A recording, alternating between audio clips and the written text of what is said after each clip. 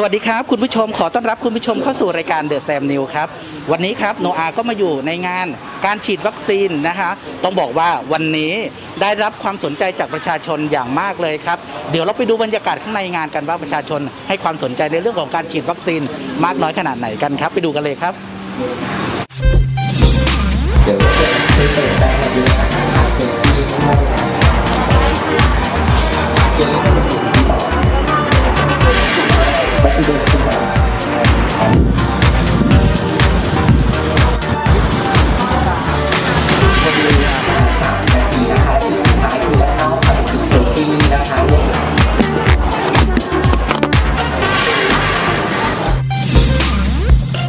ครับคุณผู้ชมต้องบอกว่าวันนี้นะฮะเราได้รับเกียรตินะฮะจากพยาบาลนะฮะที่มาคอยให้ความสะดวกในการช่วยเหลือพี่น้องคนไทยที่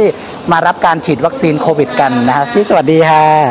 มีความรู้สึกอย่างไรบ้างวันนี้ที่มาคอยช่วยเหลือพี่น้อง ก็เป็นเป็นความรู้สึกที่ดีนะคะ จะได้ช่วยกันดูแลคนที่มาฉีด เพราะว่าก็จะมีคนไข้บางคนที่มารับครับบริการก็จะกังวลเกี่ยวกับวัคซีนนะคะครับก็ตอนนี้ก็คือให้ ก็จะมีคุณหมอด้วยค่ะอืมคุณหมอก็จะให้คำแนะนำเรื่อง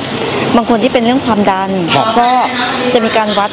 วัดความดันซ้ำอะครัค่ะบแล้วก็เป็นการดูแลทั่ว ๆ ไป ครับ แล้วก็ให้คำแนะนำในการดูแลปฏิบัติตัวหลังจากฉีดวัคซีน ครับ ทีนี้อยากให้เพิ่มความมั่นใจสำหรับพี่น้องคนไทยที่ยังเกิดอาการกลัวในการมาฉีดวัคซีนตรงนี้อะเอ่อแนะนำมาฉีดดีกว่าค่ะ เพราะอย่างน้อยคือเราได้เหมือนไม่ไม่เชิงว่าเหมือนป้องกัน แต่เป็นการเพิ่มการดูแลตัวเราเองอะค่ะเผื่อสมมุติเราไปรับเชื้อมาเชื้อมันก็จะได้ไม่